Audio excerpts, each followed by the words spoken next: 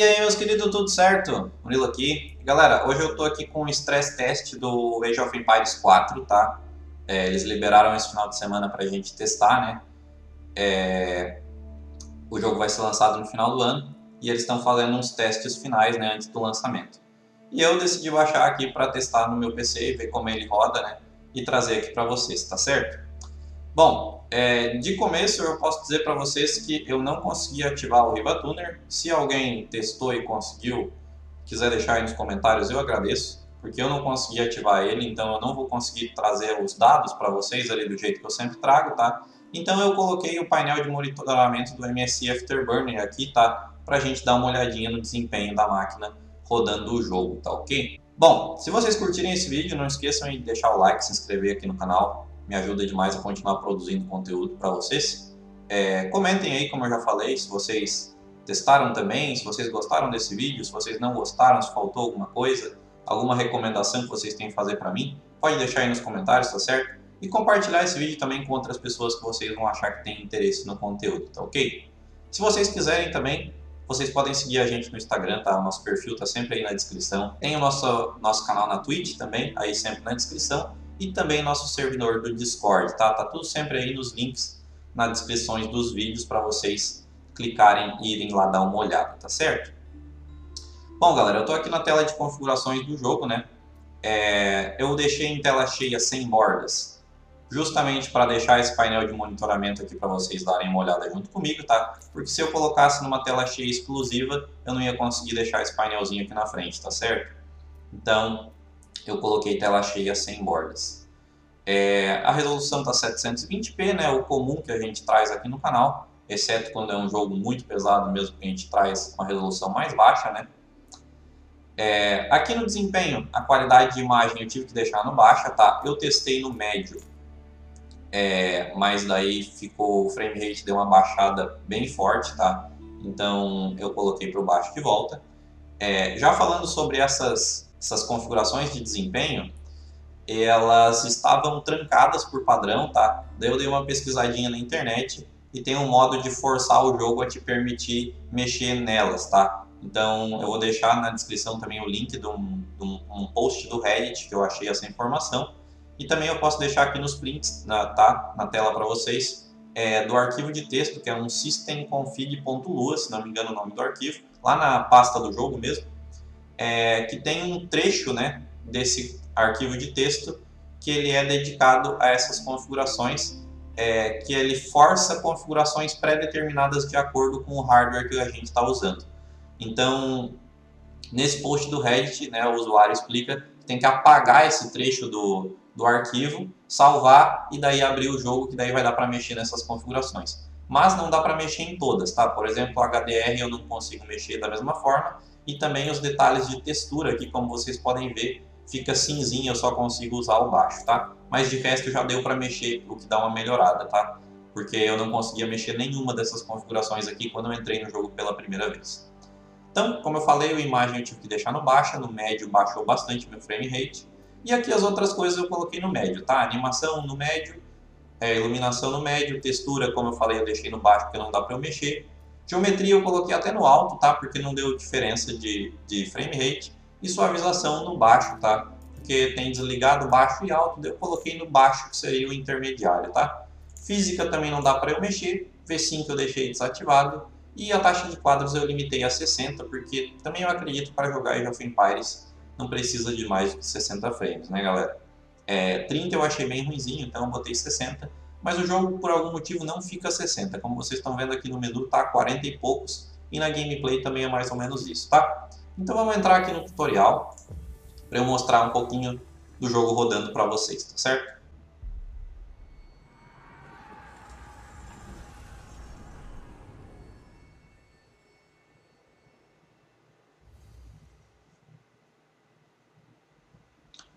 Bom, galera, tá começando a, a gameplay aqui, né? O jogo faz uma explicaçãozinha do que aconteceu com esses aldeões, né? Que estão reiniciando a vida deles, né? Então, o início da gameplay mostra né, a Town Center sendo construída. Para quem já jogou Age of Empires, sabe como é que é, né? A Town Center é o centro da cidade, onde que é, toda a civilização começa, né?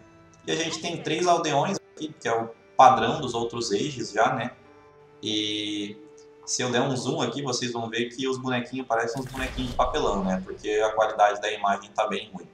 Então vamos colocar eles aqui para coletar comida. Enquanto isso a gente dá uma olhada aqui nos frames, tá galera? Como eu falei para vocês, ele fica mais perto de 50 do que de 60, na verdade, né? Fica ali entre 48, 47, 49. Se a gente der uma mexida na câmera por aqui, ele fica aí nessa mesma taxa ali. Eu acho que o mínimo que fica é 45, tá? É, se eu colocasse a qualidade de imagem lá no médio, esse frame rate já ia para 30 ou menos, tá? Ele caía bastante, então não deu para eu trazer no médio para vocês, tá? Aqui uso de RAM 6 GB, né? Eu tenho 8. É, a temperatura da CPU está tranquila, o uso da CPU também está bem tranquilo, em 30%. É, memória RAM de vídeo, né? Tá usando 900 MB aqui, a minha GTX tem 1 GB, né? A minha 550 Ti. Frequência de GPU padrão. É, a temperatura da minha GPU tá tranquila até. E o uso de, de GPU em 50 a 60%, tá galera? É, eu acredito que esses valores aqui vão ficar meio pequenininhos, dependendo de onde vocês estiverem assistindo esse vídeo. Então, eu estou lendo tudo para vocês, né? Vamos deixar aqui na taxa de quadros para vocês ficarem acompanhando. Mas eu acredito que vai ficar bem nesse padrão aí, tá certo, galera? Vou jogar mais um pouquinho do tutorial aqui junto com vocês para a gente dar uma olhadinha no jogo. Que basicamente é, é um... Eles pegaram todos os ages, né, e meio que juntaram num só, assim. É um jogo meio que uma, uma renovação do jogo, mas não mudou tanta coisa assim. Só que, claro, tá muito mais bonito, né? Não no meu caso aqui, porque o, o meu jogo tá tudo bem baixo, né? É, a gente tem que fazer mais 5 aldeões, então a gente pode clicar aqui ou apertar no atalho que seria o Q, né? Vamos colocar esses aldeões já para pegar madeira, né? Porque a gente vai precisar logo logo, eu acredito.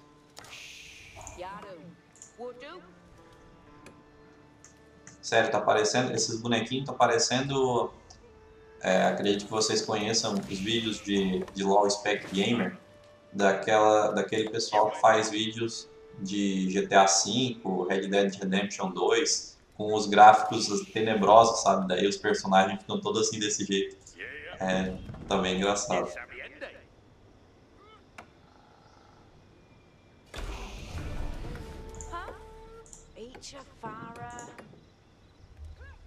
Criamos os cinco aldeões, o que o jogo vai pedir para fazer agora?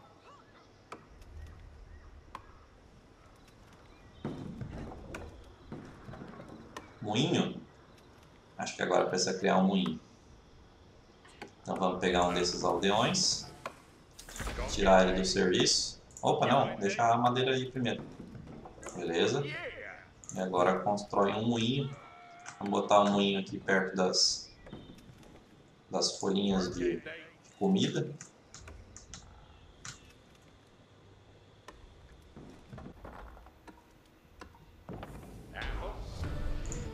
Não, não, não. Não é pra juntar comida. Então eu quero te usar de construtor. Precisaria de madeira, eu já estou coletando madeira, então é só esperar. Esperar eles juntar. Enquanto isso, vamos fazer mais uns dois aldeões. Já coletamos a madeira necessária.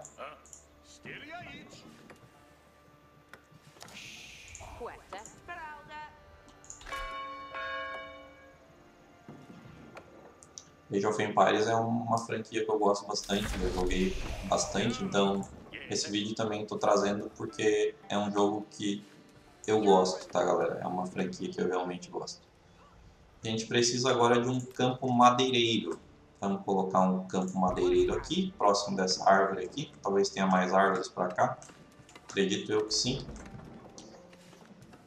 E agora, pelo jeito, a gente vai ter que construir casas, né? A gente está com 10 pessoas já. Então vamos pegar esses, esses construtores aqui. Ah, a gente ainda não pode construir casas. Então vamos esperar um pouquinho. Vamos ficar só com dois. Deixa um na madeira aqui. Vamos deixar dois. É, agora a gente vai poder construir casas. Perfeito. Então vamos colocar uma casa por aqui. É uma barraca, né? Não é uma casa ainda, mas ok. Já vamos construir duas.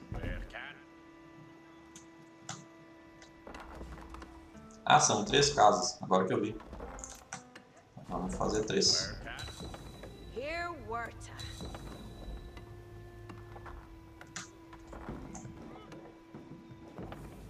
Ok, construímos as casas.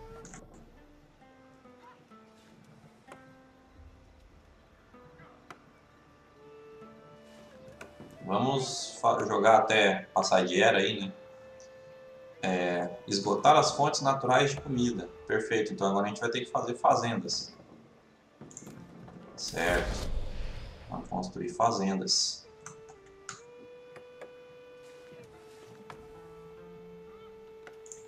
Vamos colocar umas fazendas. Ah, ficou bem feio essas fazendas aqui, né? Mas ok.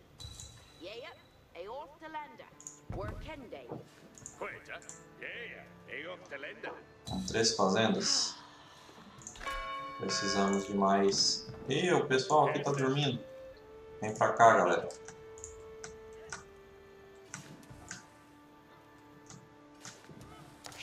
Mais um fazendeiro.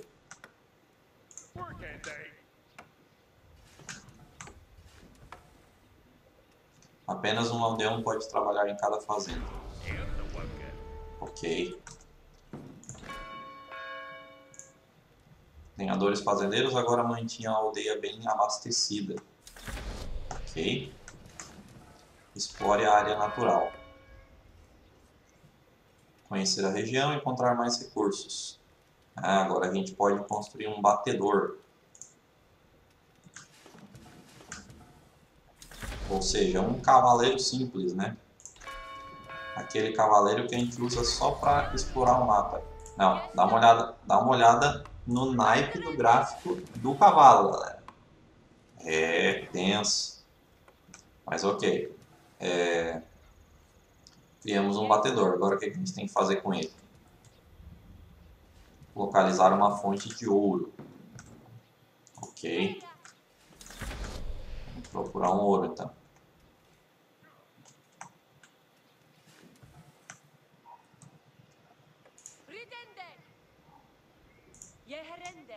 Aqui tem um pelo jeito. É, aqui tem um ouro, galera. Acho que isso é ouro, né? É, veio de ouro. Ok, cavalo achou. Então vamos botar ele para caminhar para outro lado aqui enquanto, né? Agora nós precisamos de mais uns três aldeões pelo menos para a gente colocar lá no ouro, né? Construir um campo de mineração perto do veio de ouro. Ok.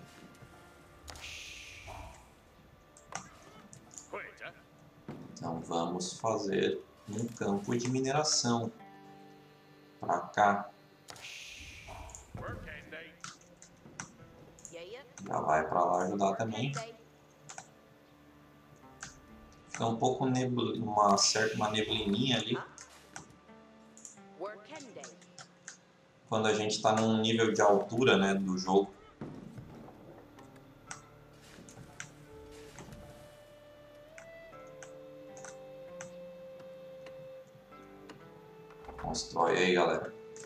Acabando as minhas frutinhas, né? Eu vou pegar um desses, desses aldeões já e já vou fazer uma outra fazenda aqui.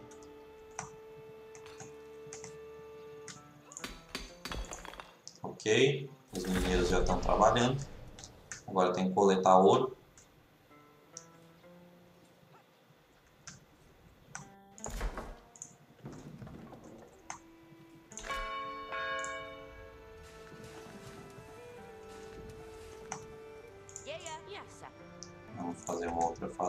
Aqui.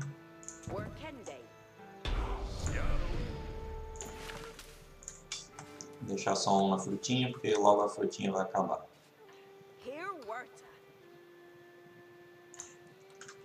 A aldeia está se tornando uma cidade. Ah, agora a gente avança para a era feudal. Beleza, era o que a gente gostaria. Então, vamos pegar esses dois lenhadores aqui. Como é que a gente avança? Aqui.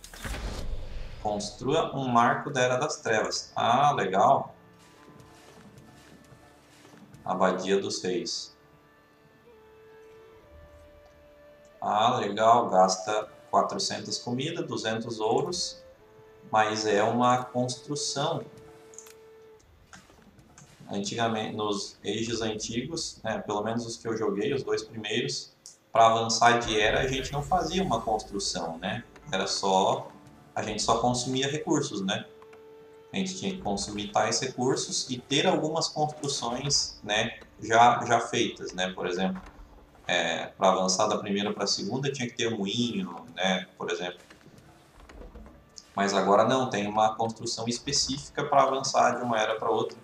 É, não sei, talvez no Age of Empires 3 tinha isso e eu joguei pouco, então é, eu realmente não sei. Mas nesse aqui tem legal, interessante, diferente também. Vamos fazer essa construção, passar de era.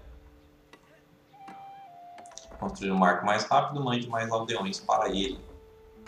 Mas já está quase terminando, né? É.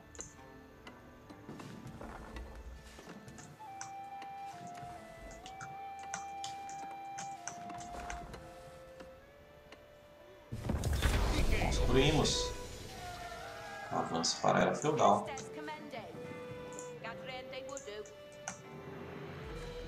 Ok, o marco, a outrora pacata aldeia se mostrava um município feudal.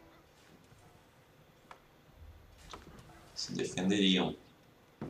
Agora a gente vai ter que criar um exército, certo? Aprenda a usar lanceiros. Certo, galera? Beleza. Já tá legal pro vídeo de hoje, né? Muito legal ver né, Age of Empires 4. Como eu falei, eu gosto bastante da franquia. Então, legal ver o jogo renascendo, né? É, eu tenho Age of Empires 2 HD Edition, né? É, que eu já comprei há algum tempo atrás. E eu tenho vontade de comprar algum dos Definitive Edition, né? Que saiu, saíram nos últimos anos aí. Principalmente o primeiro, que eu gosto bastante, o Age of Empires 1. É, espero que vocês tenham curtido o vídeo, né? Que tenham dado para dar uma olhadinha no desempenho aqui. É, os gráficos ficam bem feinhos, eu sei. Mas pelo menos o jogo roda, né? É um ponto positivo e roda direitinho, né? Dá para jogar com um gráfico meio ruimzinho, mas dá para jogar. É... Então espero que vocês tenham curtido o teste, tá certo? Se vocês curtiram, por favor, peço novamente para vocês deixarem o like e se inscrever no canal, é importante demais para mim. É... Assistam outros vídeos aí, vai que vocês curtem também os outros conteúdos que estão disponíveis aqui já no canal. É... Comentem, compartilhem e é isso aí. Agradeço demais a visualização de vocês. Valeu, até mais!